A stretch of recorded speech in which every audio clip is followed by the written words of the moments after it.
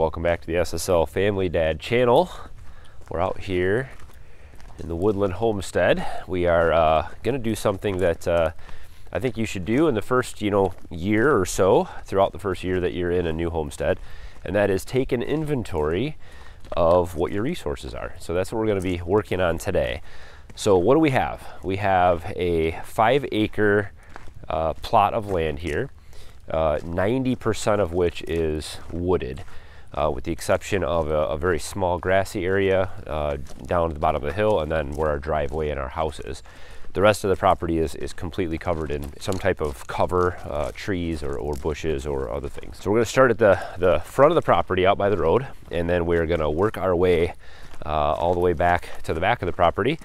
And we're gonna be using some techniques that I've used before and some new stuff and to identify uh, what resources that we have here. All right, so we're gonna start down here at the bottom and there's three main things that I want to identify. Number one, I'm going to identify any dead trees. Now is a great time to identify any dead trees that uh, don't have any leaves on them. Uh, that way, when it comes fall time and a lot of the leaves fall off the trees, it's easier for me to get in the woods um, and those I can cut out. This is an oak tree that died down by the road. This I can cut down and this will be firewood for this year. It's already seasoned, it's been dry and standing, it's, it's perfect. And so we'll be using a lot of that resource for this year's wood. I have my helper here today, Summer. So which color should we use for dead trees? Black? Black. Black? Okay, black for dead trees. So we're gonna put a small dot right at the, the base of the trees. And we're gonna do it on the opposite side of the tree so that we don't see it all the time coming into the house. So we'll put a, a dot on that one that is black. We also want to identify maple trees. So we're gonna go through here and, and take kind of an inventory of what types of trees we have. Uh, you can see here, there's a maple tree that I tapped this year actually. Um, they're very easy to identify now uh, rather than when they don't have leaves. And so uh, I'm gonna go around and we'll put a small dot. So what color will we use for maple trees?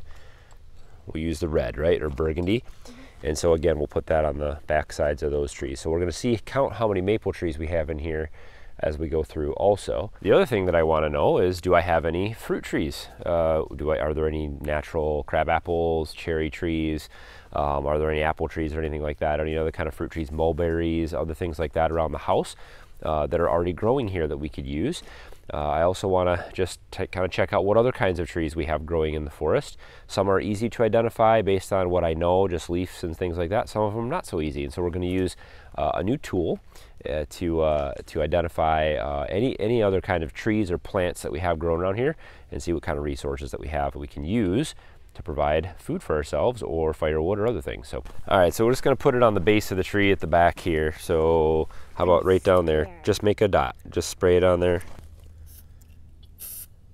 All right, so this one easy to identify as maple. Okay, stop. That's it. That's all you need to do. Bam. Yeah. Yeah, look at the, okay, maple leaves on that branch. So this is one right here. So on the back side of it, get close. There you go. Okay, that's two. Okay, that's good. That's it. These are all oaks in here. There's a lot of mosquitoes in here. This right here qualifies, it's dead. So let's go ahead and get a black mark on this one.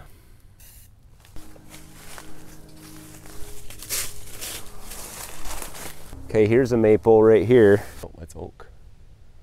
See the Why leaves? you do it? Is it dead? No, we're not. I'm gonna. Okay, go ahead, do one. Bottom. Whoa, you missed. Okay, that's good. Here's another one. This is a double maple tree right there. Yep. Yeah, that was a big mushroom. There's some big ones in here. So one of the tricks, or one of the tools that we're going to use today is an app that uh, I have found and uh, this is just kind of this has helped me a lot out here in the new woodland homestead. Uh, i have a pretty good you know basic understanding of i've taken forestry classes and you look through books and you look through you know you can look online to identify leaves and bark and all these kinds of different things. But when you actually get out here there's depending on the region depending on the area depending on the, the climate trees grow in slightly different ways. There's there's always different variations. And so it's, it's hard sometimes to tell the different kinds of trees apart. Plus i just don't know them all plants and all these different things. And so I have found an app that surprisingly, I've been waiting for this technology for many years. This app actually works really well. And uh, let me show you how it works. I'll take you into the app. And uh, as we kind of go through the woods here, we're going to identify some of the different kinds of trees. Um, it's a maple, but what kind of maple is it? Uh, can we identify that? Uh, different kinds of uh, oak trees we have here. What kinds are they? Those are a little easier to tell. Uh, mushrooms. Can we identify some mushrooms? What kind of mushrooms do we have here? I don't know much about them. but also some fruiting bushes and other kinds of trees. Are the, is the fruit edible? Is it not? And so we can we can uh, we have a tool here that we can use. So let me take you in and uh, we'll go around and see how well this works for us. So this is an app called Plant Story and you can download of course on the app stores. I'll put a link to this in the description. But it has a feature called Plant ID where we can actually snap a picture of trees, berries, mushrooms, uh, all kinds of different things, uh, leaves, and it will help us to identify them. So let's uh, let's do a couple things around here. Let's just test it out. So we've got uh, lots of maple trees in this forest. Our old forest had lots of silver maples. These do not look like silver maples. I believe they're red maples, but let's see what it says. We'll snap a picture and hit confirm, and we'll see what it says here. Red maple. So this uh, identifies the, the tree by the leaf, gives it a description, characteristics, tells you a bunch about the tree, um, which is uh, very helpful and then you can add it to your garden or add it to your homestead so you know that that's a resource that you have there. So our maple trees are being tagged. These are going to be used for maple syrup production here. So want to see how many we have. We also have lots of mushrooms around here. See if this will identify some of these mushrooms that we have. Brown roll rim, it says. Looks, looks like it's the right one. So this will tell you whether they're edible or not and all kinds of different things, where they're from and you know how they're used, all that kind of good stuff. Previously considered edible and eaten widely, it has been found to be dangerously poisonous. Okay, well, so I wouldn't trust this, you know, 100% obviously with things that are going to be poisonous or not, but it says that that one's not good. Well, let's check out these big ones. There's lots of mushrooms in the forest, so let's see what it says about this. You want to, you want to do this one? Yeah. Okay. It's rounder and beautifuler. Looks like something ate out of it. Yeah. Penny bun. So this these are edible, I believe, and they're pretty big. That's a pretty good size, pretty good size uh, mushroom there. And so, uh, and of course, you want to verify these things. There's a couple other different kinds around here. There's these little yellow ones, and I just this is something I just don't know that much about. So this is very helpful, at least to get me started at what these could be. So that gives me information about that. There's also a few kinds of trees here that I'm not familiar with. So let's snap some pictures of these leaves right here. See if anybody can guess before I before you get the answer.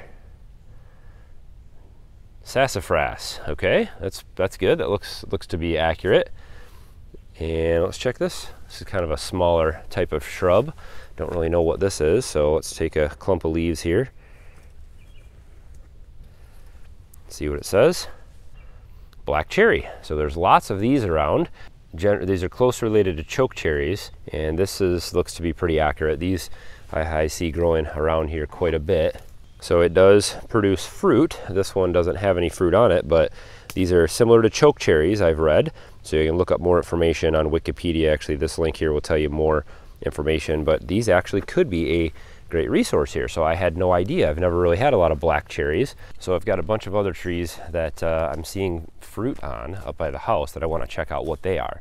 Um, I think I have a hunch, but uh, we'll let the Plant Story app uh, help us out and see if it can uh, if it agrees with me or disagrees. So, all right, so so far on the lower side of the property, we have found uh, five maple trees yes. that we've tagged and a few dead trees. All the way at the top of the trees there, I can see the, the maple leaves. So yeah, let's mark this one.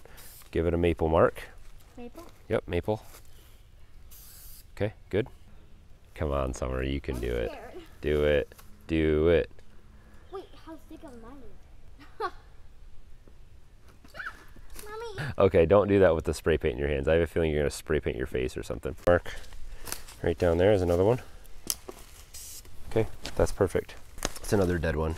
Did we already mark that one? I don't know. These, all three of these are maples. Go ahead. Give us a mark at the bottom of that one. Yep, good. Here's another one.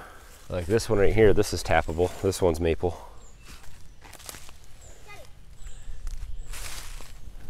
They're acorns. These are just young acorns that dropped. Green. Leaves of three, let it be. Well, there's lots of things with leaves of three. It's not poison ivy necessarily. This right here is something else. Look at the flowers. So this is basically a weed. Oh, okay, this is something interesting. It's a mushroom of some sort. Look at that. Indian pipe. It okay. looks like it's see-through It stem. says it's an herb. It looks like it's a see-through stem. I want to add that one. It could be useful for something. Uh, this is a maple tree right here. Take it at the bottom. Oh, and this is the mark of. Uh, I'll tell you a story about that another day. Maple. Okay, good. So as I was walking around some of our landscaping, I've noticed quite a few things that look like uh, well, poison ivy, and also some kind of berries and things in here. We've got these kinds of things. I'm not sure what that is. And there's lots of that in here as well as other things. So let's see if we can identify some of this stuff up here. Looks like it could be some kind of a berry. Red raspberries. Okay, that's good. Something different. Northern dewberry black raspberry, that's good.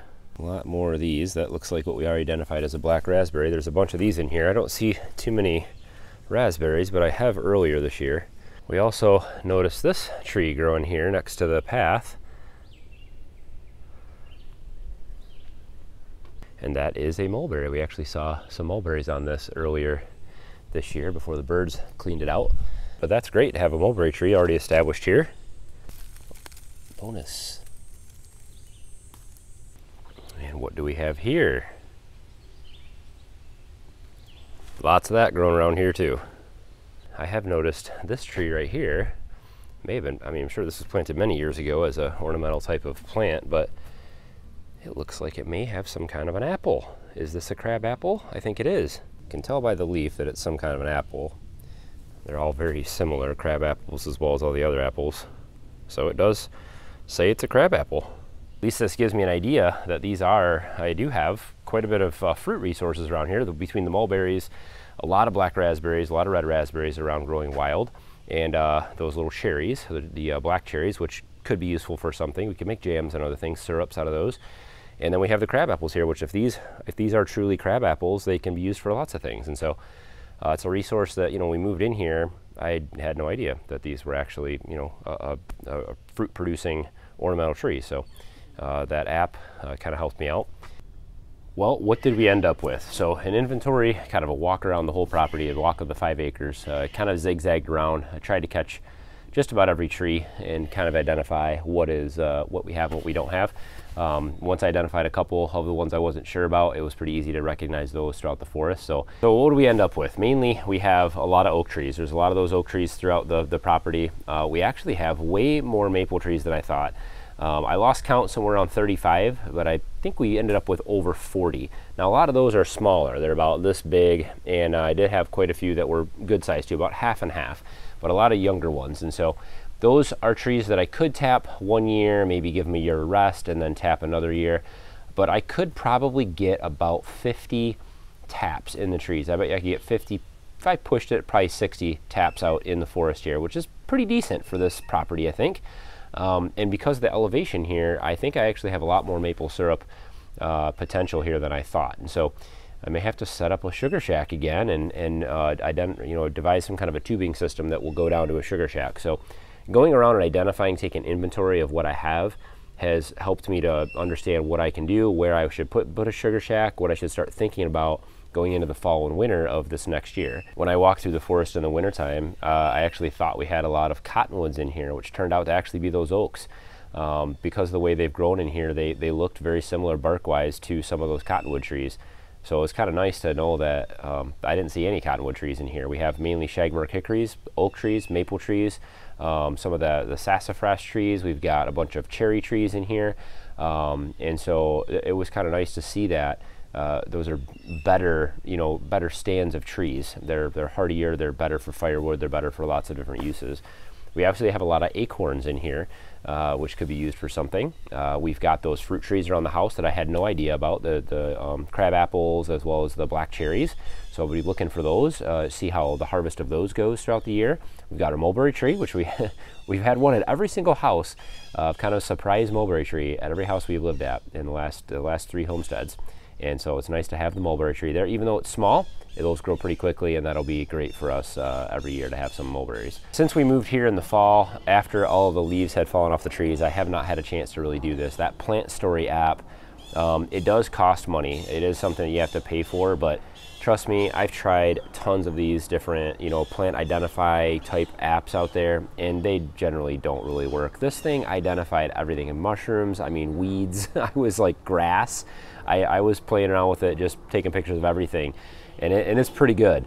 Um, very surprising at how well it does to help. And obviously, it's not 100%. It's going to make mistakes, but at least get you in the right direction.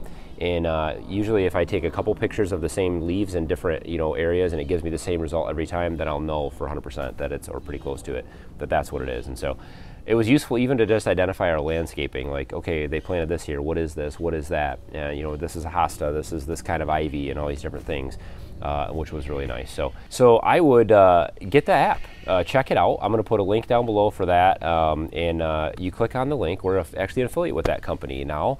Um, I reach out to them and, and just love that app. Uh, so much that uh, I want to work with them. And so I'll be sharing that app out with you guys a lot. I would recommend you guys try it out. And if you click the link in the description, we get credit for it, which is nice. And so let me know what you guys think. Have you taken an inventory of your homestead? What resources do you have naturally growing around your property that you could use? Uh, now that we have kind of a list, we can start to devise all these different different ways we can use those things. And I would recommend you guys do the same out there. Don't forget to hit thumbs up on today's video. And of course, if you have not subscribed, if it's your first time here, I'd love to have you tag along the SSL Family Dad channel. And uh, stay tuned for all the fun coming up. As always, guys, thanks for watching. Have a good one.